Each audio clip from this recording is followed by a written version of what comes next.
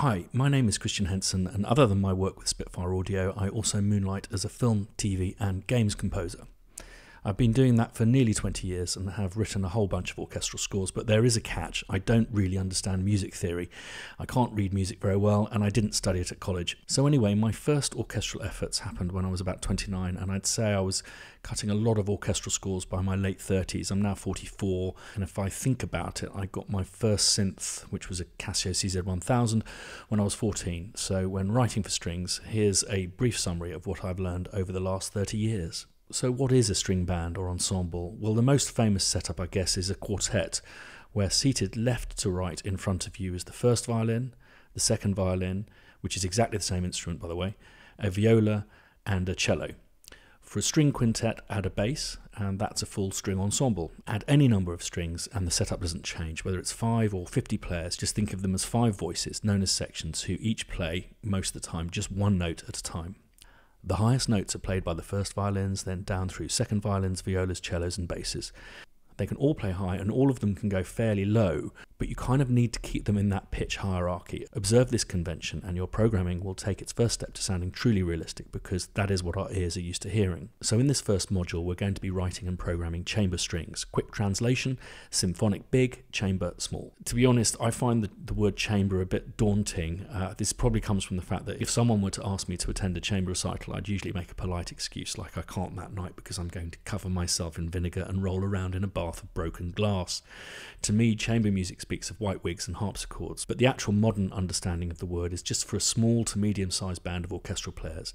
Not any particular style of music, it could be three clarinets and a cello playing some American systems music, or it could be a larger band of strings and woodwinds playing, say, Dario Marianelli's excellent Oscar winning score Atonement, written for and played originally by the London Chamber Orchestra.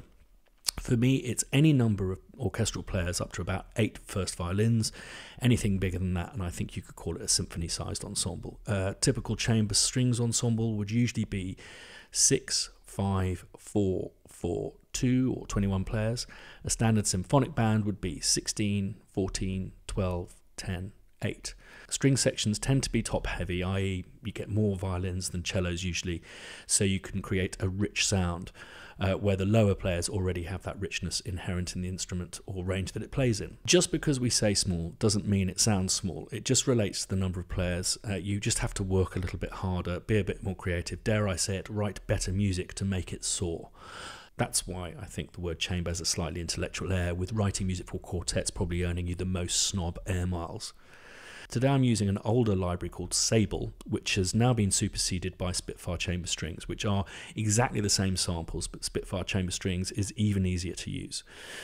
This library I helped to conceptualize after writing dozens of low budget films and TV I'd worked out over about a decade what is the lowest number of strings that sound like a real string orchestra and can make nice sounds easily. For me, this is four firsts, three seconds, three violas, three cellos, and three basses. It is agreed by most string players too that the most difficult number of strings to blend is two, and I found that when you have two players, they sound like two players. Three, they sound like an actual section. There's also something quite nice about this number um, being a bit unbalanced in the bottom end, something quite cinematic about there being a really rich cello and bass offering. Strings sing like voices, and historically, string music harmony, basically chords and the way they're arranged or voiced, stems from choral arranging. I believe a guy called Bach pretty much set out the stall for truly brilliant choral arranging, but you don't need to study this. Provided you think of a string band as a set of five voices and not a synthy string patch, you'll be halfway there. A small chamber band is nimble and expressive. You can't use size or scale to impress, you have to use the colour in a wholly more intelligent way. It's not like standing at the foot of your lover's balcony screaming, I love you! It's about staying up till the early hours of the morning writing a finely crafted poem, and it's not just about the quality of the paper and ink, you've got to get the words right too. So, in a roundabout way, you're going to have to bear with me, chamber arrangements just take that little bit longer. I'm going to try and write a piece that encompasses all of these ideas, starting from a sketch to something presentable as a strings idea. When I say sketch, I mean exactly that. I always consider programming strings as akin to an oil painting, where you start with either a charcoal outline or a quick colour wash, and you slowly apply each layer, bringing the picture more and more into focus. So, other than a set of awesome samples, uh, what else do you need to make uh, some realistic string programmed stuff? Um, well, you need a computer uh, to load them into, and you need a DAW digital audio workstation. Um, I'm using Logic. You, have seen me set up this demo uh, in little clips. Um, so you first need to load in an instance of a sampler, which for Spitfire is uh, we use Native Instruments' brilliant uh, Kontakt sampler. Uh, this is the kind of the the engine of the plugin, if you wish, where Spitfire just makes content for a plugin. We're not we're not uh, a software manufacturer, if you will. So we have to use a third party. So if we go track, new tracks, software instrument, stick that to the top so you don't get confused, and then down to instrument. Kontakt. You only really need to do this once, and then you can just duplicate tracks. Stereo. So there's your rather daunting empty shell and uh, with this Sable or replaced by chamber strings uh, library, uh, you just pull these in. Before we get to playing it, uh, I think it's important to uh, also talk about the peripherals that you need. You need some form of controller. Um, a nice 88 note weighted keyboard is fantastic if you can get one of those. Um, if your keyboard, like mine, uh, doesn't have any more than uh, two faders, uh, then you'll need to get uh, an essential piece of kit, a uh, some kind of fader controller. Uh, the reason for this is there are several different ways of creating realistic dynamics and expression. Um, and two doesn't really cut it. Uh, another warning is uh, you can't really do this with knobs. Uh, you often need to control more than one at the same time. The way I've got this set up, it's an utter piece of, it's not a flash bit of kit, at, at all, it's a piece of crap, Behringer but I like the resistance and I like that it's real faders. Uh, you do get uh, iPad versions of, of, this stuff, but it's uh, I need to know where I am from kind of zero to one two seven or zero to hundred percent. Um, so the way I've got it set up is expression, which is kind of like volume, but it isn't uh, volume. If I I've actually got volume in on this one. If you see, if I push that, you'll see that's actually controlling the master volume. Now, this you should really use for little tweaks and mixes uh, expression, which you'll see moving up and down, it's exactly the same thing as volume, but you can it's volume within the volume. So uh, let's have a I'll show you a little example. And if I turn the volume up,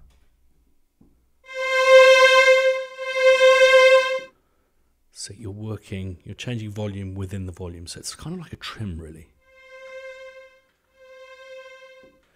The second controller I use is uh, modulation, which would have been on the modulation wheel, but again, I need to wiggle more things at the same time. So I've uh, patched it to here.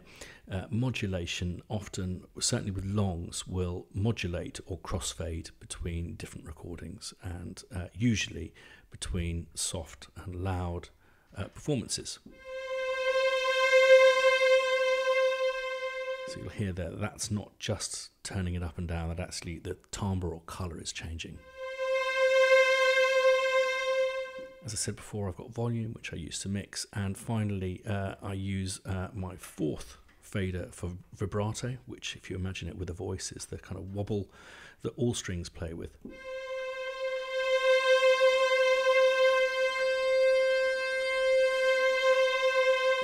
So these four controllers control your entire dynamic repertoire, if you will.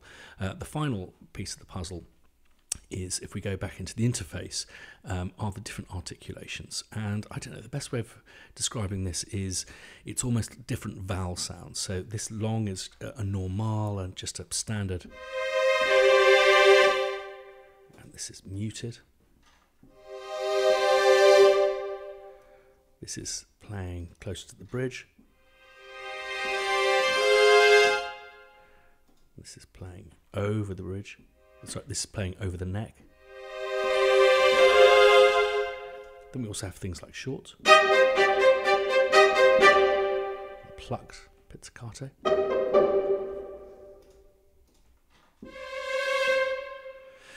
So what's great about this is it means you can actually switch between different articulations or vowels or shorts and longs, plucked and and muted um, on the same track. Uh, you can do this by physically programming the, the switches in, or if you see these key switches down here, you can actually use your keyboard to switch between them. I'm a little bit old school, and what that means is I'm going to get rid of that. Is I've simply loaded a different articulation long pizzicato per channel. You'll also see I've got some coloured blue and some coloured green.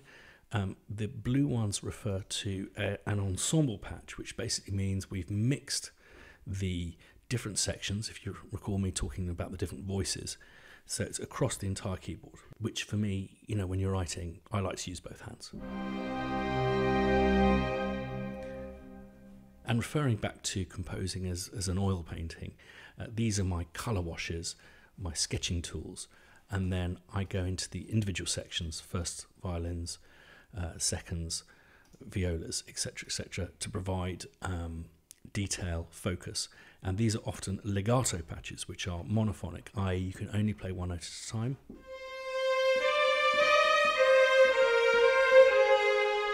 But they're the most articulate of uh, articulations you'll get. And what you need to do in order to make them work is actually make sure that the notes join up, as opposed to still effective for a different effect. If you want them to feel really lyrical, then you join them up.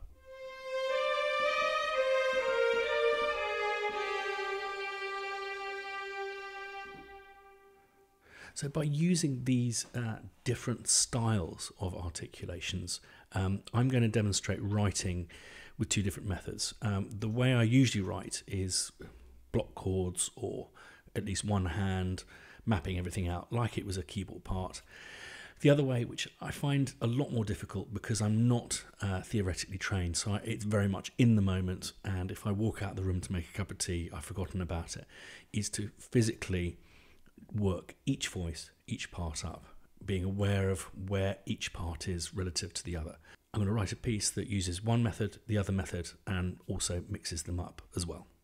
So I'm going to start the first part using my favourite sound of all time, the Spitfire Chamber Strings flautando patch, which is an Italian word which basically means fluty, and uh, it's where the players play very softly, a little bit further away from the bridge, and it produces a flute-like tone. This has a soft choral quality, as I mentioned. The trick with strings with writing is if it feels good with the choir, then it'll sound excellent as strings. So this is a lovely mixture of the two almost. There's also a fragility in the sound that matches how I always feel when starting to write a piece of music, especially when I know I'm being watched doing it. So here's the first bit of writing just with my right hand. I'm going to remember that this is a small band, so I'm going to limit the first pass to just three notes at a time.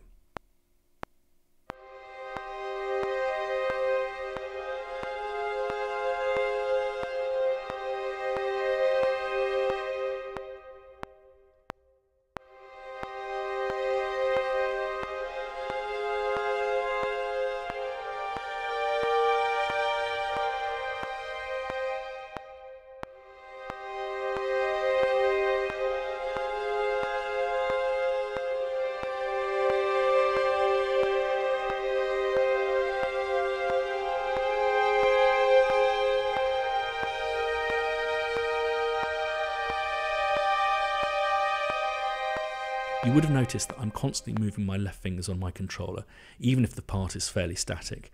When you see string players perform, there is so much movement. The bows, the fingers, not only playing the note, but the vibrato, and then they'll be moving side to side, rocking back backwards and forwards. So always keep movement in there, even if you want it to sound still. Imagine painting a portrait of a small child. You want them to sit still and behave, but you don't want them to stop breathing. So as I've done here, it sounds static, but it sounds alive.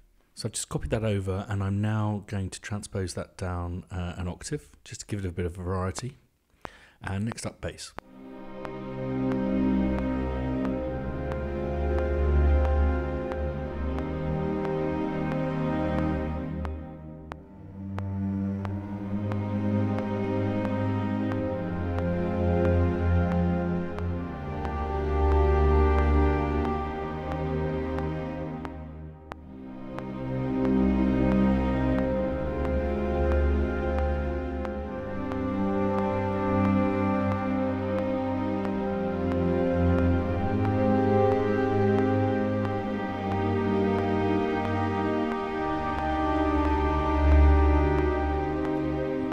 sure about that last note, so let's just have another go at that.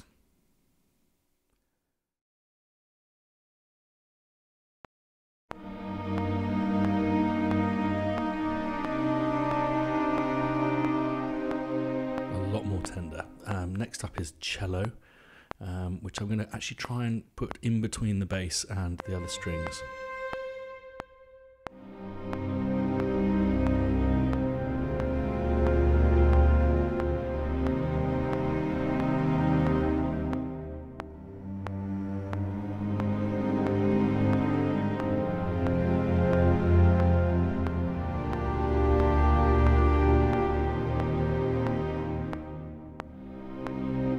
Have to stay in the moment, so I have to go. If I'm happy with it, just let's chop that up, and then I'll move to the next bit because I'll forget what I've done otherwise. And uh, so let's just shift that up there, and let's work on the next bit.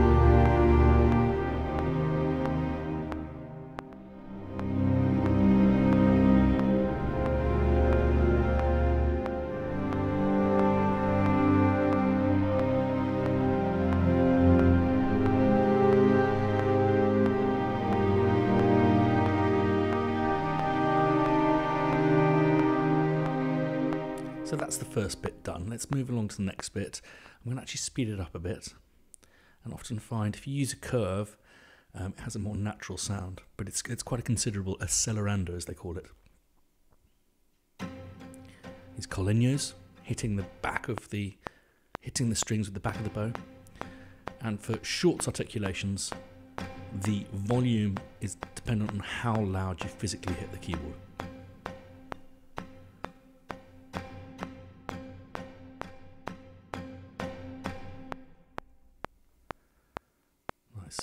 Duplicated that.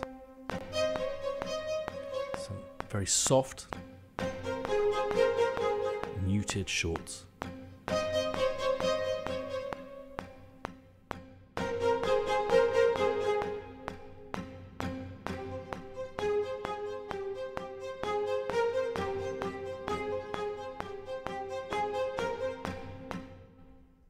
Okay, I wasn't actually recording, so I'm going to have another go at that.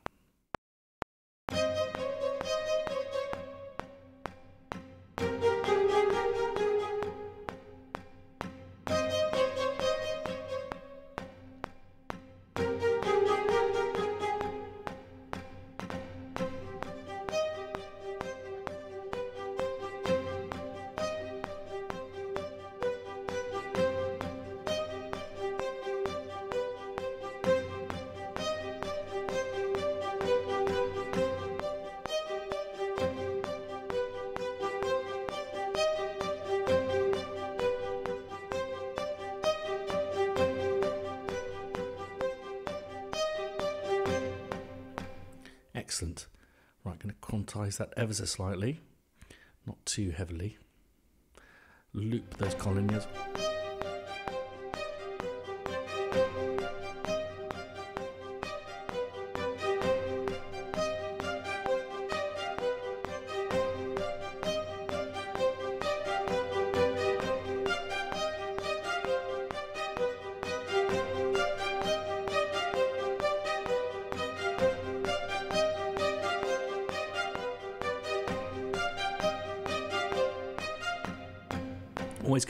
Everything in, it gives it a much more natural flavour. Just a little correction here.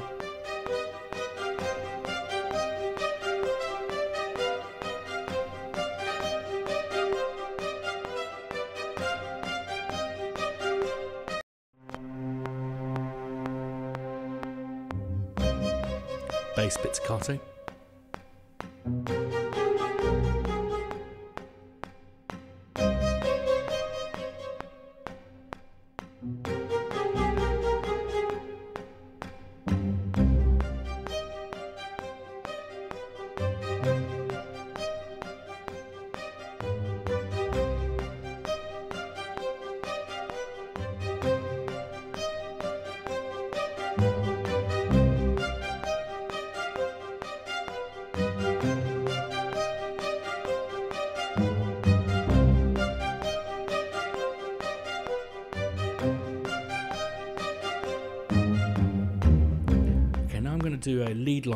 Cello and I'm going to use a legato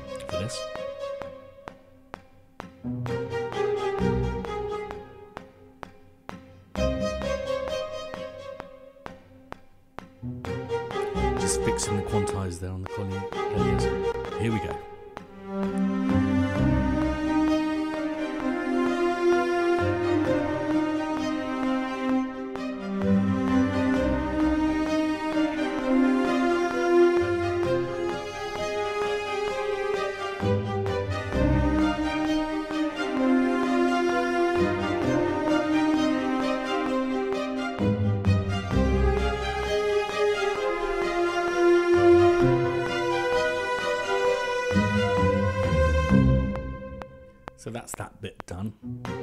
There's a couple of corrections here.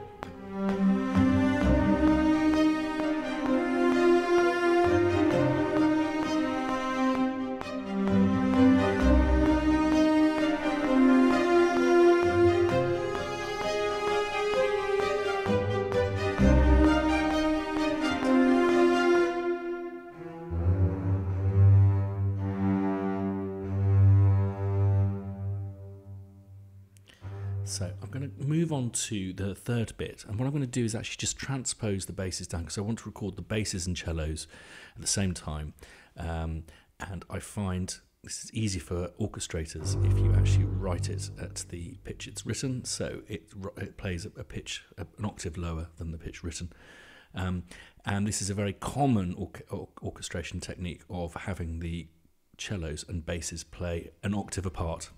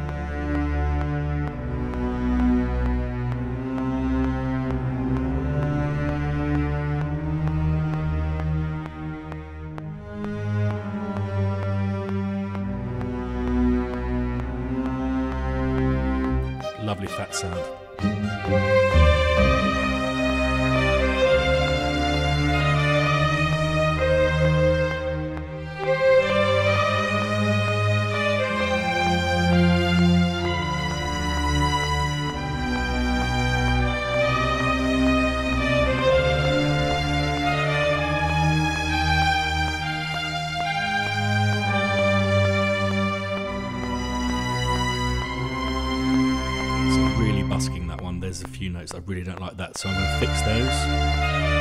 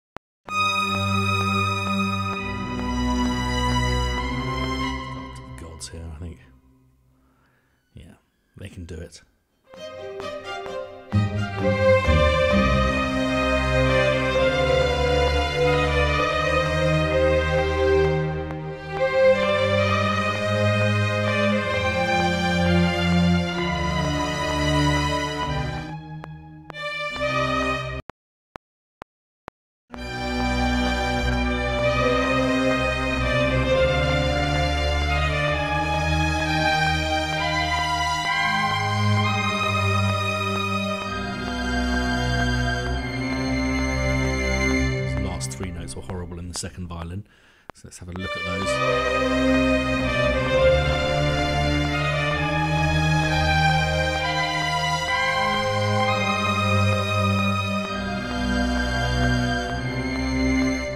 See, these aren't preserving that hier- Everest hierarchy we d- depicted earlier, so just correcting these harmonic points. So the second violins are still underneath the still underneath the firsts.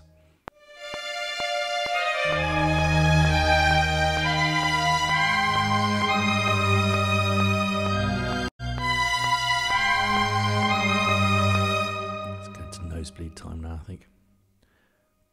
Let's take this up.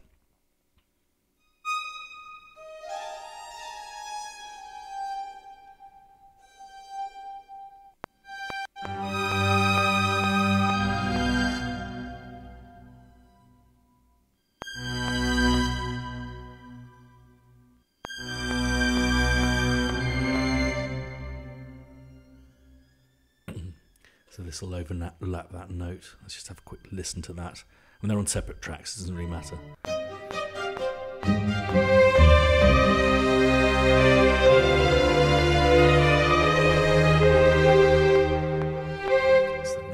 Viola part going in.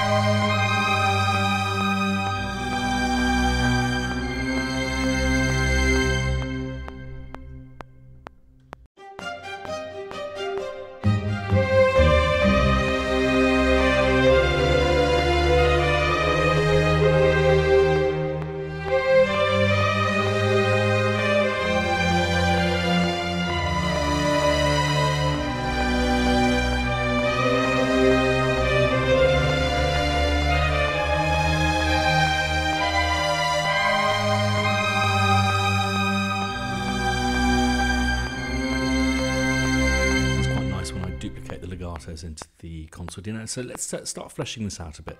I'm going to take these flautandos. and I'm going to copy them into the harmonics.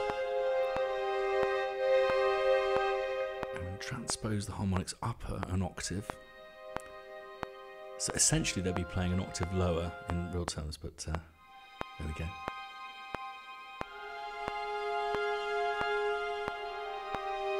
Lovely ethereal tone there.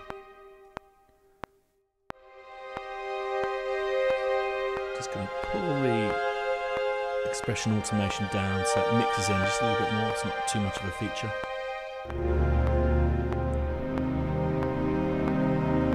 Some more here.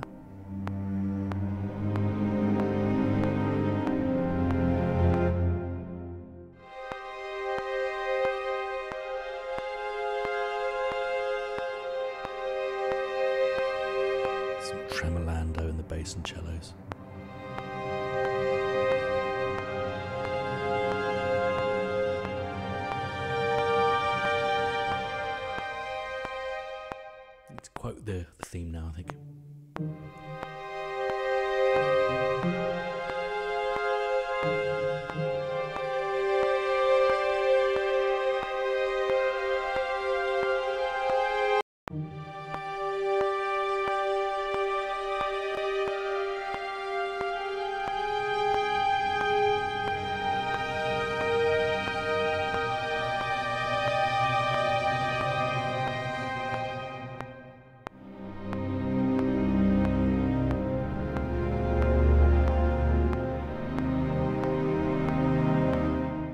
This out with some more standard style articulations, but I'm going to reprogram the uh, automation um, so we can really give it a sense of shape over the entire bit of the piece.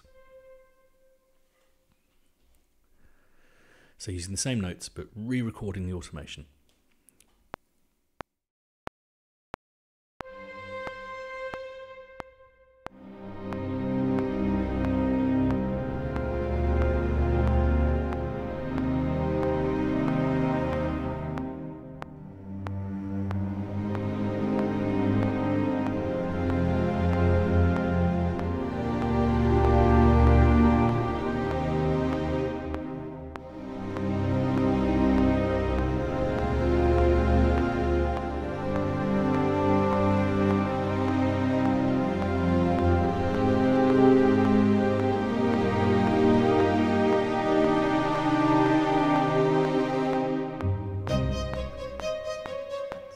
Starts to flesh out now. I'm going to copy that up to the normals as well.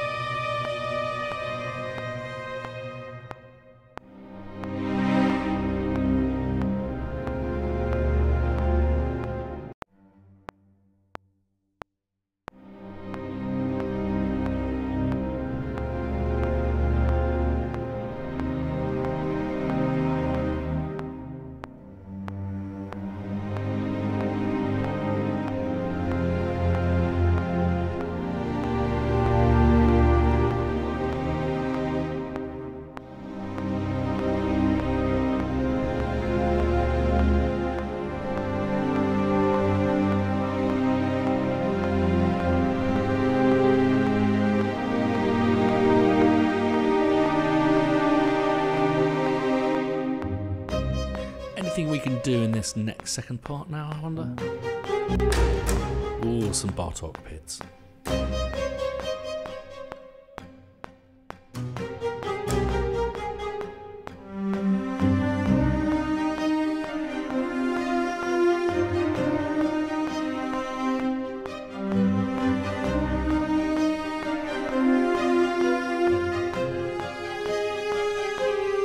some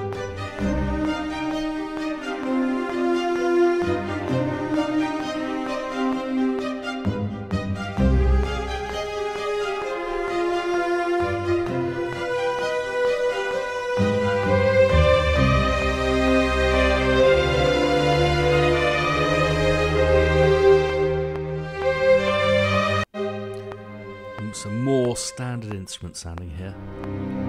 Really rich basses. Let's take those down a bit. Cello as well.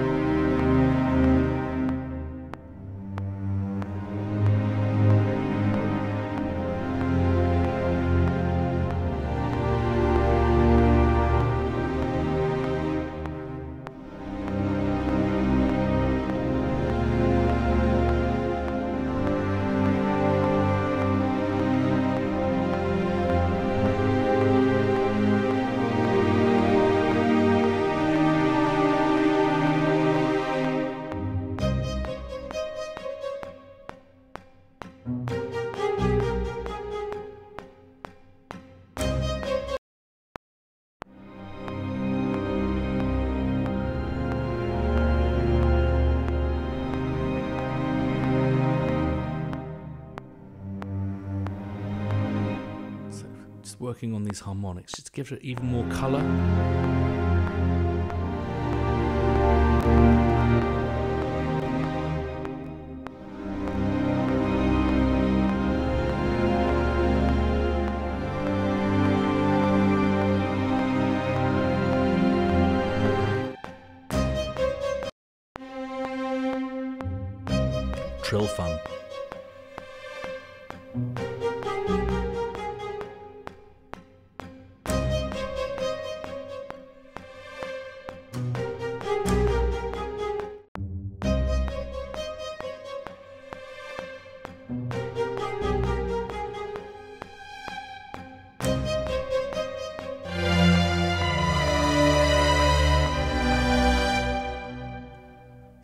Duplicating this up again, just making it as rich sounding, blurring the lines a little bit, using the more standard uh, settings, big ensemble stuff. I'm just gonna have, uh, merge those two parts together, and I'm just going to these the the the in between bits. So the bits, second violins and the violas, just deleting their automation, and now I'm just going to re-record that.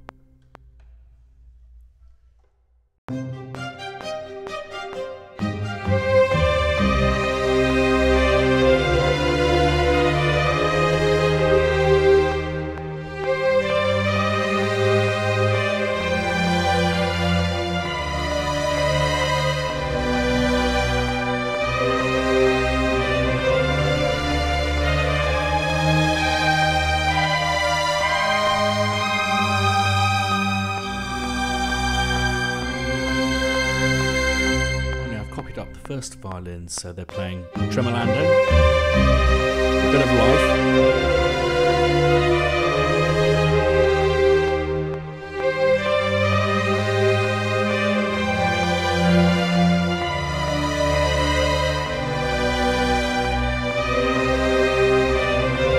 Okay, um, let's listen to that back. And thanks very much uh, for watching this with me. And uh, next time we'll be looking at symphonic strings and going into maybe a little bit more detail of uh, how I approach it.